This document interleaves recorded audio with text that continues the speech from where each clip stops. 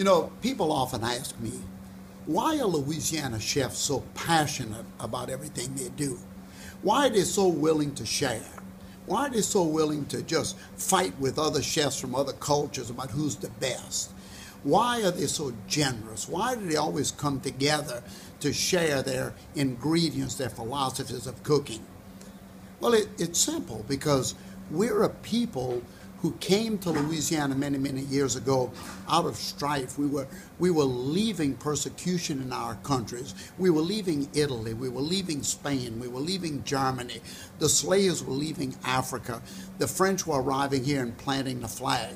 And when we arrived here, we were seven different nations, all with different opportunities in a new world.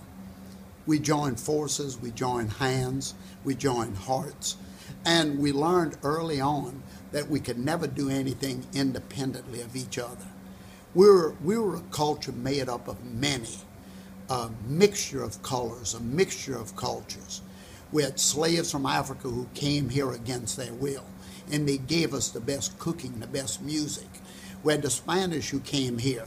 They gave us our oranges, our coffee, our chocolate. I could go on and on, our red beans on Monday.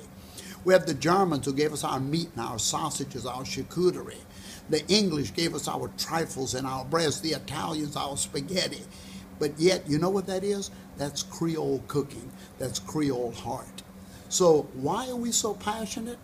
I tell you why. Because we came here with nothing and created a land of plenty that was so generous to us. And now all we want to do is give it back to you. We're Creoles, we're Cajuns, we're Louisianians, we're New Orleanians. And we just love being here.